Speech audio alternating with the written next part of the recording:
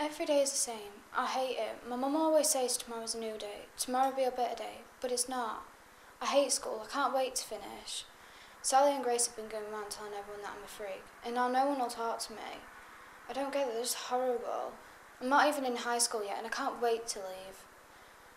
I've counted. It's only 31 more days till school's over. Well, at least for this year. I really hope next year's better.